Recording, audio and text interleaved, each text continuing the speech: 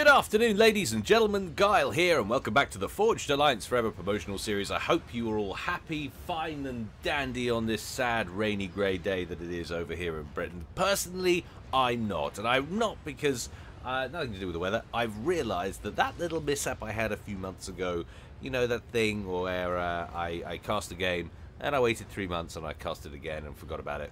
Uh, that's really affected me, and I know it has because today's game it's going to be a ladder match, pro level, and uh, I'd already seen it. I'd seen it once. It had been submitted by one person, uh, or I'd found it in the replay vault, one of the two, and I'd watched it, and for some reason I went, uh, no, I don't want to cast it, and then it got submitted again by someone else.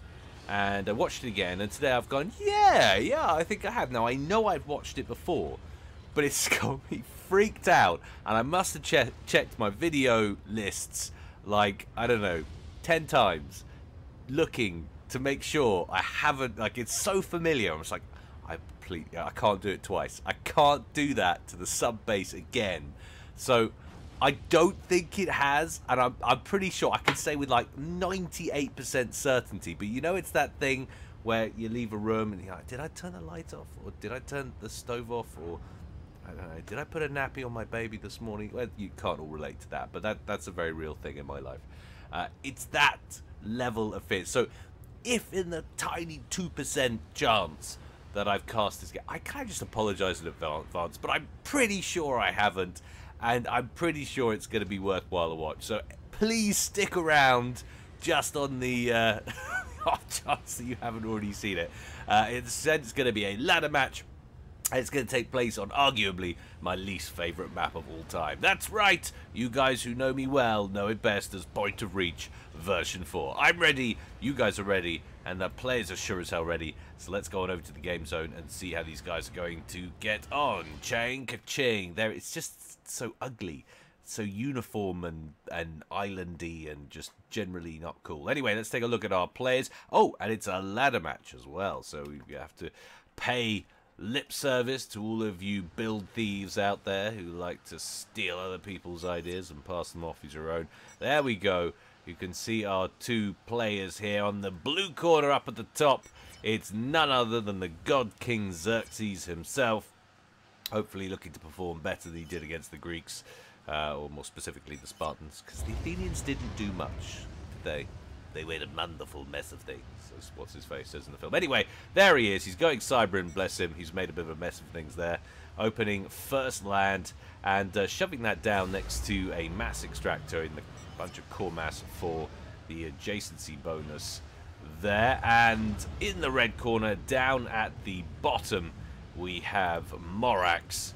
And uh, I clicked on the wrong thing there. Where is it? There we go sitting down here at the bottom. He's going Seraphim, and he's also opening First Land. I'm just checking see. He actually, he's, I can't quite tell whether he's blocked that or not. I don't think he has. So he hasn't gone for the adjacency bonus. I didn't see the little adjoining two hickey there that you can see much more clearly and defined in Cybran turns than it is in Seraphim anyway. So uh, he hasn't gone for exactly the same setup there. Both once getting the land factory online uh, actually, yeah, no, sorry. Land Factory, one P-Gen for both of them. Morax uh, choosing to put him his down next to the top right mass extractor, whereas uh, Xerxes choosing to link it to the land factory, and then both of these guys tripping off down here next to the hydro and planning an air factory next to that. Incidentally, a lot of you uh, newer players or people getting started in FAF might be wondering why the air factory always goes next to uh, either a hydro or specifically other associated power. It's because planes take a lot of power to build, much more so than land units. So you want to give them as much assistance as possible on the adjacency side.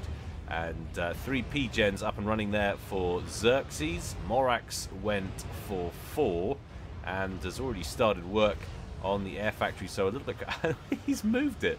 Xerxes didn't like the time that he was losing thanks to the placement of his engineers sitting inside that footprint. So he built it over here. No adjacency bonus on these T1 P-Gens, but he's not going to be too worried about it. First plane out for the game, and it's from Morax, scout plane, as you would expect. That uh, I was going to say heading north with great gusto, but it's actually really not. It's meandering its way up over there, and uh, already a large build queue for Morax. Look at that. All the way over there, all of the uh, mass extractors on the southern tip of this side island here queued up, as well as a naval yard at the other end of the uh, map over there. Transport away up top there for Xerxes, and we're just loading up a transport of engineers there for Morax as well. More or less departing at the same time, but of course Morax getting an early read on intel on what's going on in Xerxes base with that scout plane. Not really very much in it in terms of the transport.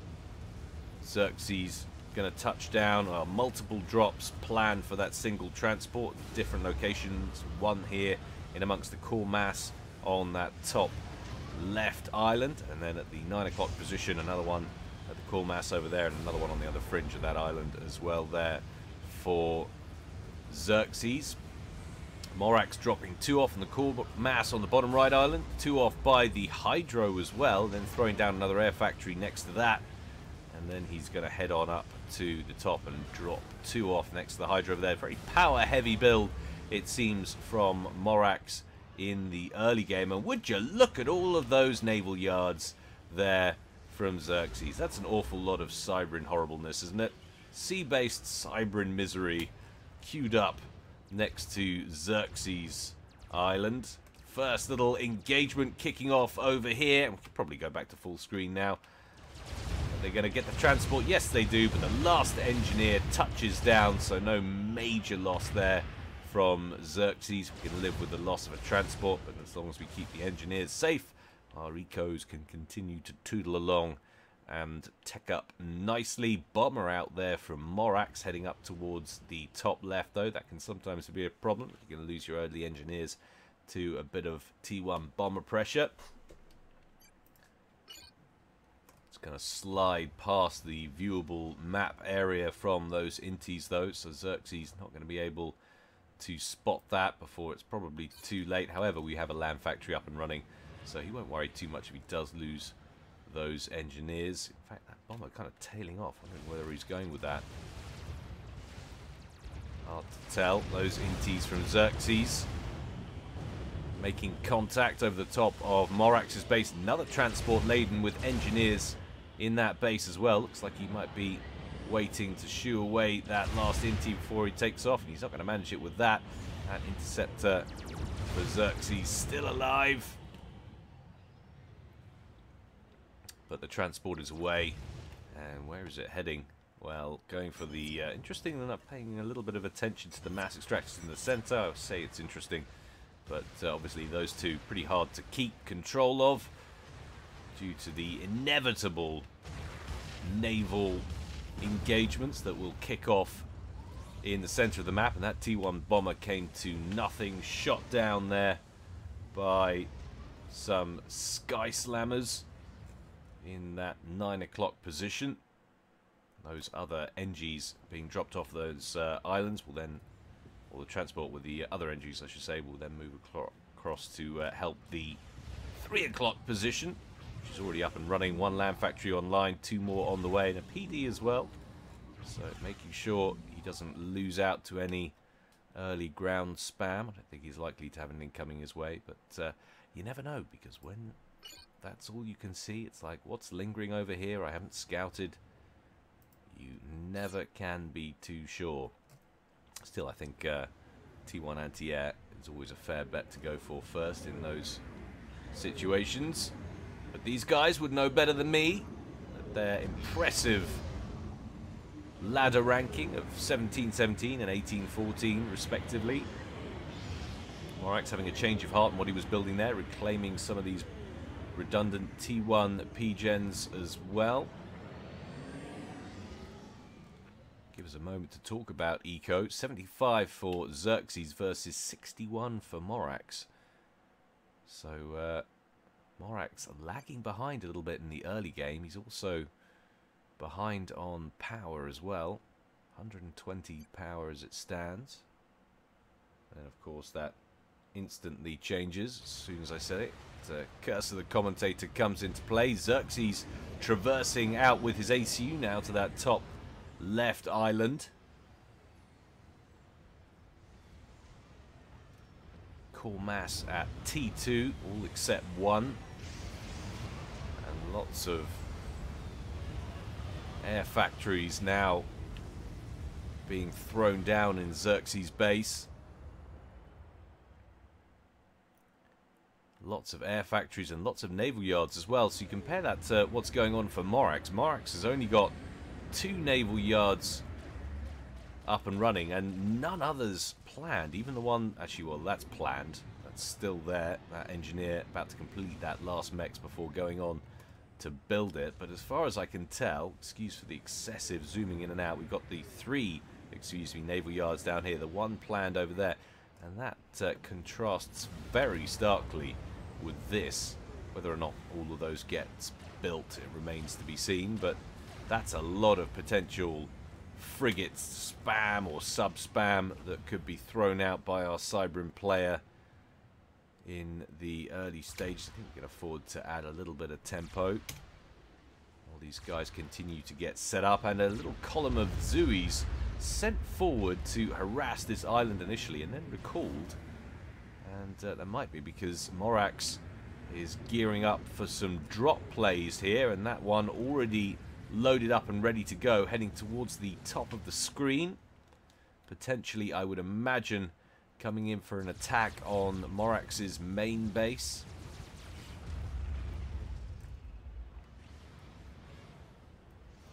Seraphim frigate scores a mass extractor kill in that northwest island.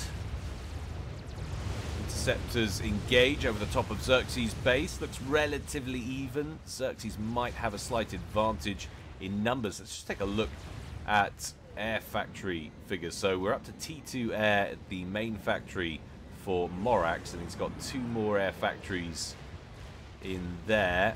Another one over here.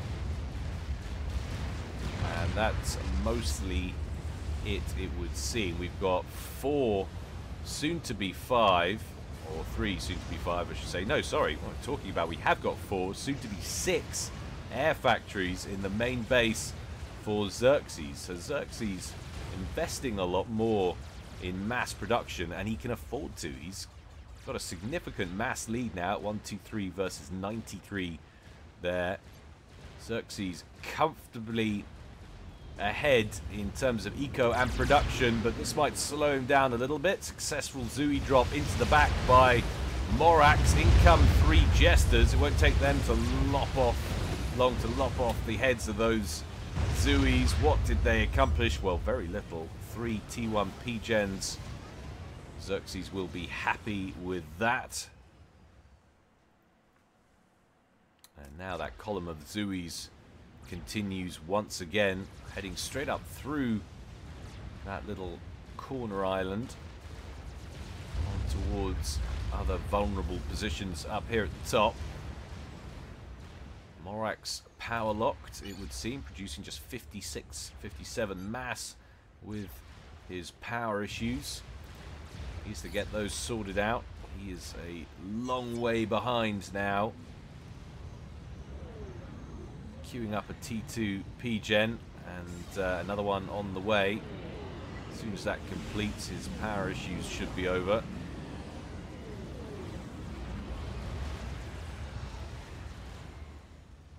Those are big boy transports as well. Another one under construction. So potentially some significant drop plays on the way. And we've already got one T2 transport loaded up with Zuis. More Zuis queuing. No, sorry, two. I am way behind the curve here. Another one inbound and another one under construction down here. So this is a significant investment right here by Morax into a drop. He needs to make this pay off. He is well behind 138 to 127 to 117 at current reading. He's caught up a little. But uh, this uh, would frighten me a lot. There is a lot of naval production power admittedly virtually all of its T1. In fact, has he got any T2s? Yes, he does up here. And they are producing Salems, those naughty, naughty, walkie-walkie destroyers that we dislike so much here at Gylecast.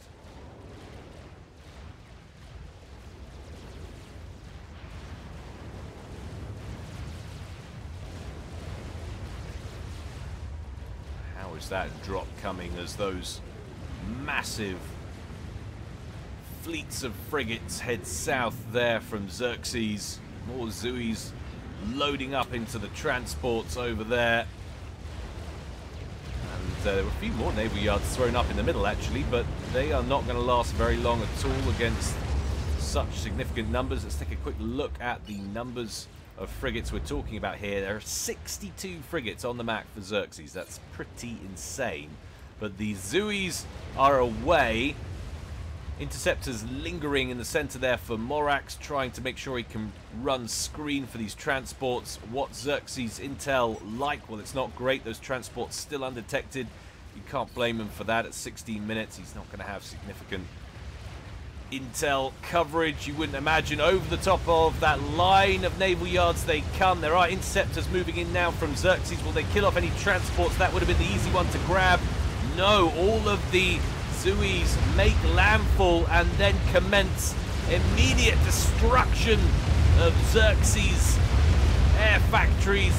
Look at the carnage as those Zui shells rain down on that Cybran base. That's a thing of beauty right there. One explosion after another. Morax tearing through Xerxes' base. Three four. Air factories down, five, six. Xerxes is nearby with his commander. Needs to get in there and lob some overcharges. Whilst, of course, staying as mobile as possible to avoid all that return fire from the Zui's Xerxes now severely power locked as you would expect, having lost 90% of his power generation capacity. There goes another T2. And the rest of these T2 mexes down here, of which all except this are, are now under threat. Xerxes likely to be wiped out economically speaking at the end of this. He can't produce any more land units to counter this Zui spam.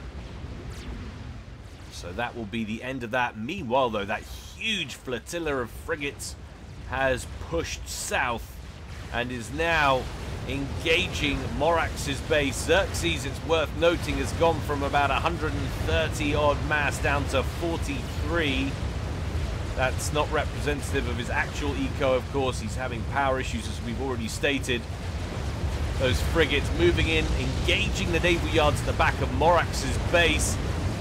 Morax trying to counter with Vulthoo gunships. It's going to take them a long time to shoot through all of those ships, though. They're focusing in on the high-profile targets like the destroyers before moving on to the frigates. It's worth saying, of course, that he does have some of his own vessels, and he's got three or four destroyers in that mix as well, but there are just so many frigates down here for Xerxes. It's likely Xerxes now to assert full naval control on the area. If there is one silver lining for Morax, it's that, of course, the range on those frigates pretty piss poor. Most of the base will be safe now that he's taken out those Salems.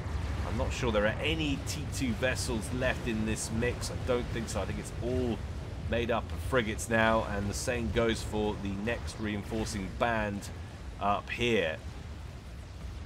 One T2 mech still online in that main base for Xerxes. The Zuis come back to the main area after having destroyed everything on the southern tip of that top island.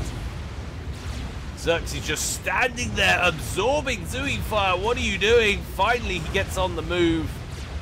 Had me worried there.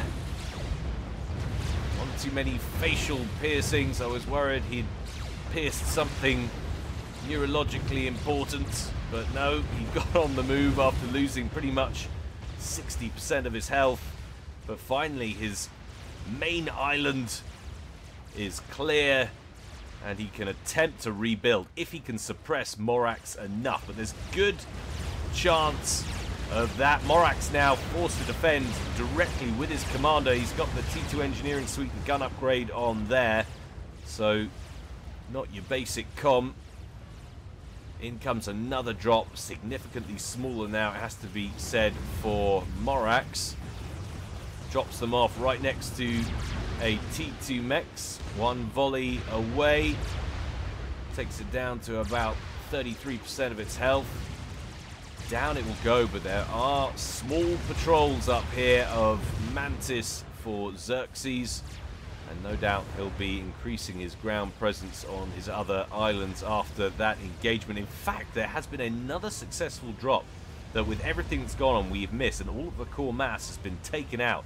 But nonetheless, Xerxes is still doing pretty well. He's readdressed his power issues and he's still putting out 75 mass per tick. Compare that to Morax, who is now, it's fair to say, in the lead at 118. That's still not too bad considering what just went down. And Morax now has taken some fire. He's down to around 4,000 hit points, gets himself back in under shield coverage over here and immediately starts work on some T2 PD that will be able to zap some of these frigates that are close to the coastline here. That T2 shield, relatively new, I believe. Gone up in response, no doubt, to this naval incursion. More T2PDs going up behind. Morax now firmly in defensive mode here. Feels he's done enough to earn himself some breathing room. He can spend some time on trying to assert himself around his coastline.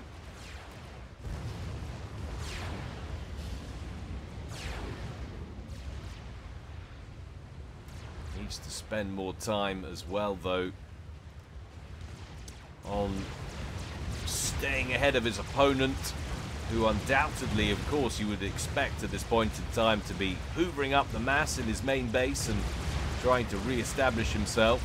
This is one of those maps where there's such a large abundance of mass spread out all over the place that uh, really got to keep the pressure on after such a maneuver as Morax pulled a moment ago on that main base it's not difficult for your opponent to re-establish themselves. And he's all he's doing is getting power online at the moment. He's not trying to go into any mass air factory construction. All of his eco is still being funneled into fleet production. I do like that play. I have to it has to be said. It's all about keeping Morax pinned down, mostly frigate production, but we're starting to see the odd cruiser on the field now. Salem production as well still happening from that one T2 HQ at the top there.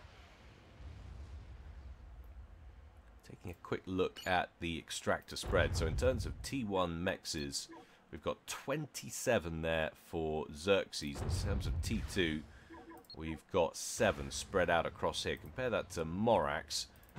He's got 21 T1s and 10 T2s. That really needs to work on continuing to develop. Of course, it's very difficult when all of the coastlines are so threatened by all of this naval power. And before, admittedly, most of this, or all of this, once the first couple of frigates, sorry, destroyers, were taken out, all the rest of it has been frigate power. And so the central sections of these islands have remained safe. Frigates unable to reach sensitive structures, but now we're seeing more and more T2 vessels piling up in Xerxes' fleet, and you can see the result. Mass extractors that were previously inaccessible now well within reach. And that advantage is slipping away now. 112 to 99. Morax trying to exert some pressure via the air this time. Vulthoo's being brought to bear at the 9 o'clock position. Coming straight over here to the corner. Surely want to go after some of these T2 Mexes. Excuse me. Although lots and lots of Sky Slammers being produced from these land factories now makes it hard even with T2 weaponry. And in fact Morax withdraws the T1 Intis to defend the torpedo bombers circling over the top of this fleet going after the destroyers. Not focusing on one single target though. That's a little bit of a mistake as far as I'm concerned gunships just stationary up here doing nothing Morax's attention elsewhere. New naval yards under construction up here. Morax very concerned by the naval situation. And I don't blame him. Problem is, is I think he's too far behind in it now. This is one of those scenarios he might be ahead on mass, but the layout of the chess pieces is such that I'm not sure he's going to be able to claw his way back. Xerxes continuing to apply the pressure.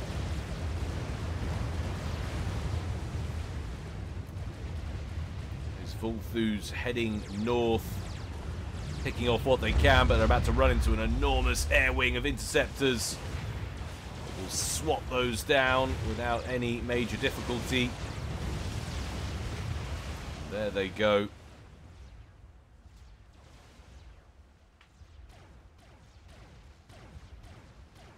Actually looking at in terms of air numbers here. So Morax has 90 interceptors. Xerxes on 44, so he does have a significant advantage. Can't seem to get the numbers of gunships together and coordinate that in attack.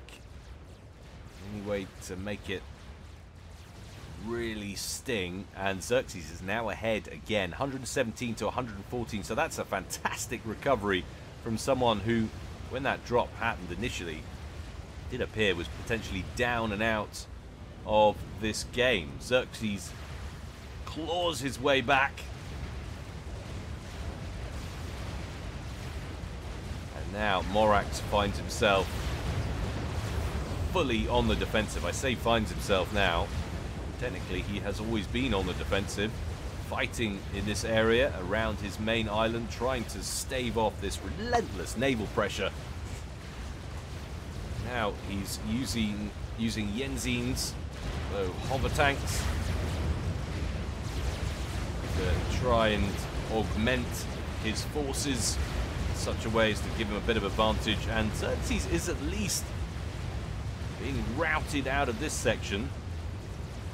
Trouble is, is another long line of vessels coming down towards the main base down here. Another drop from Morax, this time unsuccessful as it flies over those naval units.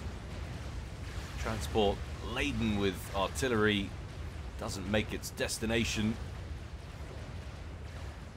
Up to now in terms of frigate numbers? 114 frigates on the field there for Morax six something destroyers. I think that's seven. And one cruiser. Compare that to the composition of Morax's naval forces. Well, 52 Yenzynes, and they're being produced out of all areas of the map now, here and here and here. Versus 25 frigates and 5 destroyers.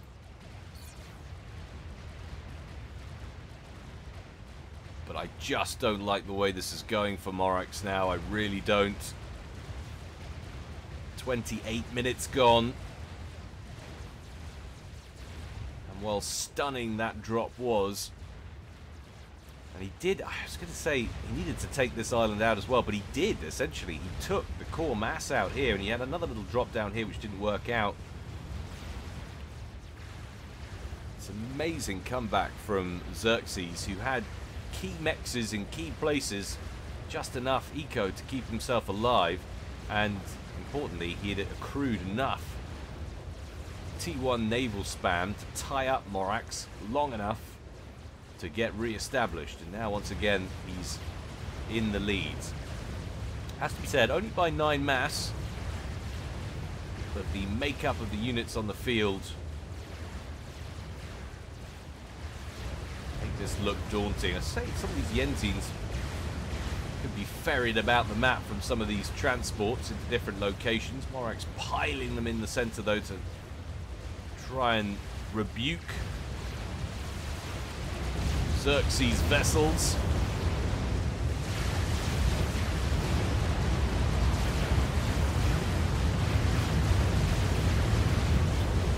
Smaller numbers of higher tech vessels for Morax going up against, well, I was going to say mass T1 spam, but it's not. Look at those Salems and the cruisers leading the charge. Yenzyne's getting in amongst those Salems and taking down the Siren. Happy about that. There goes another destroyer. Oh, 42 hit points left on that Salem. But really, the numbers of red in here just crumbling now. it's managing to pick off the important units, but there's just so many frigates all the time reappearing. Still at 16 T1 naval yards for Xerxes. That corner fleet that's just been holding a position in the bottom right. Now coming back towards the main base once again of Morax.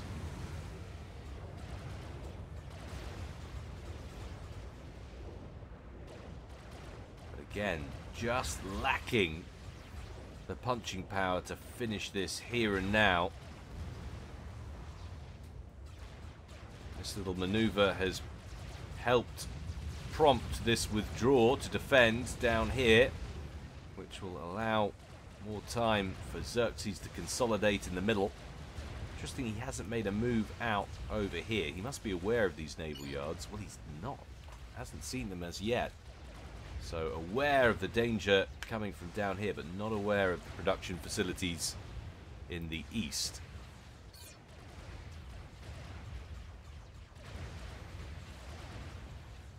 Really, you feel if Morax loses either of these, it's going to be too difficult for him to contend with this constant spam with Yenzyne power alone.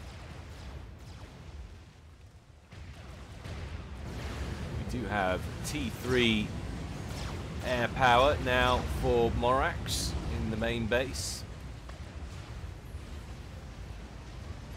But at only 134 mass and 2.2k power,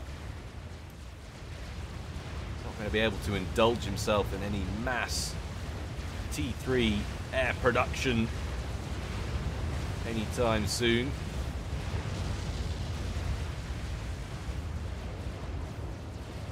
Might be able to squeak out a strat bomber at some point and go on a mass sniping run.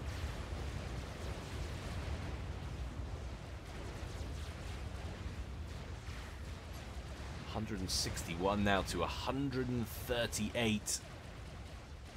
Actually, in totals, there's not too much between these two guys. Remember, of course, Xerxes, a lot of that is reclaim that doesn't really count because that's his own reclaim from scooping up his old base that's been torn apart by that early drop.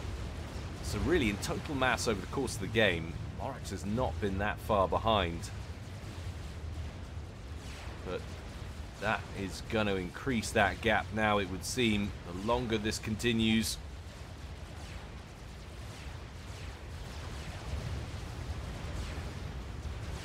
Thirty-two minutes gone. We can afford to add a little bit more to the tempo once again. And Xerxes drifting east now. Does that mean that he's spied? Well, he spied the boats, and now he's spied the naval yards.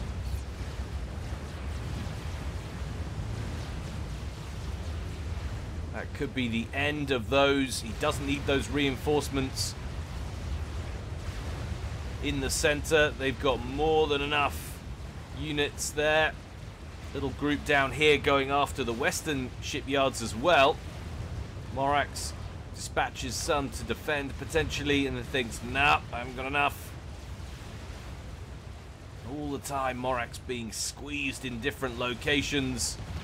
Units in the east destroyed. There go the naval yards.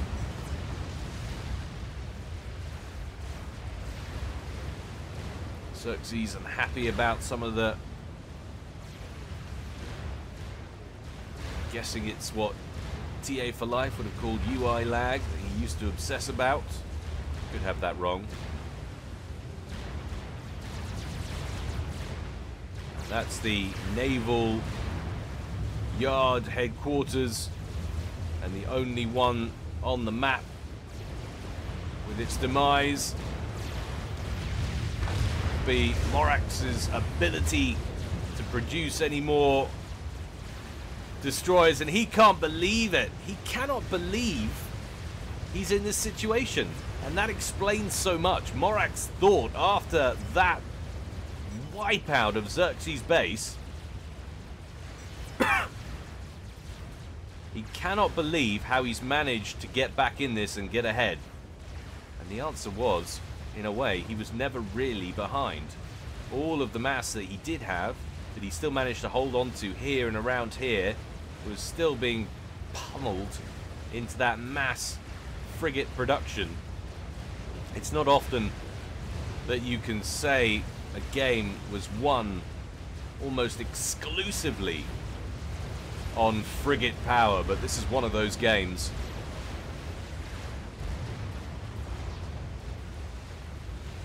Another drop of engineers in the center, just desperately looking for mass, but they're going to get eviscerated by a small group of frigates waiting over there.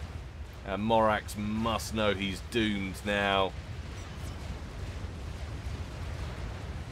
Torpedo bombers in the center for Morax. That won't be enough to turn the tide of this one. He started to try and work on getting another T2 naval yard online, but frankly, my dear, what is the point?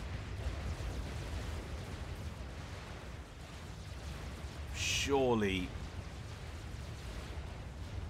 comfortably beaten. It's now 175 to 112, and that's the story, really. Morax only gained 15 mass at peak from the point where he destroyed Xerxes' base to his highest point of mass production in the game.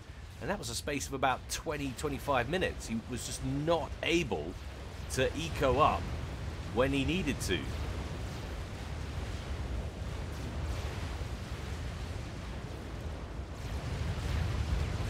Last three naval yards remain over there. And now the main base of Morax likely to be pincered here by Xerxes' forces who have been the bane of his existence. Having power issues as well. Torpedo bombers focusing on those destroyers.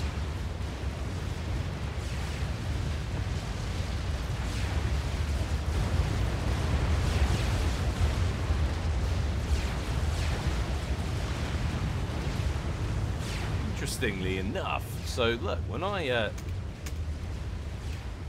tap the speed changer, the slider doesn't change in the Supreme scoreboard. Interesting stuff. Hussar, if you're watching, please correct. Unit cap reached for Xerxes at 1k versus 300. How apt. Strat bomber produced and almost instantly shot down. Morax flabbergasted is the only expression at how Xerxes has managed to recover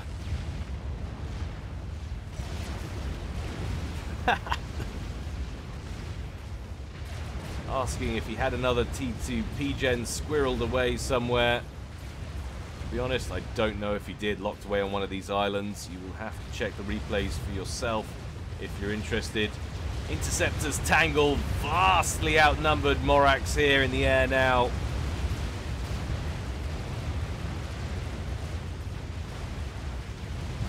Down goes the T3 and down goes the commander with a control K. Morax submits at 41 and a half minutes.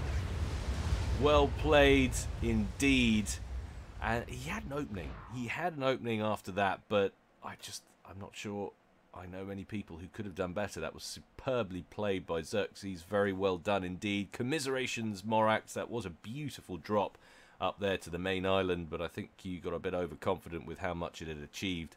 And uh, really, it comes down to the nature of the, the unit comp at the time, and of course just the nature of the map. It's a very wide, spread out area, and Xerxes still had enough income from these two islands to get back in it. Hope you enjoyed it, guys. There's always more to come from me in the future. Don't forget, if you feel so inclined and are feeling charitable, why not support me on Patreon? Every donation helps by me and by extension the channel and the community, so thank you in advance for that. Until next time, though, guys, stay well and stay safe. This is Gyle, signing out.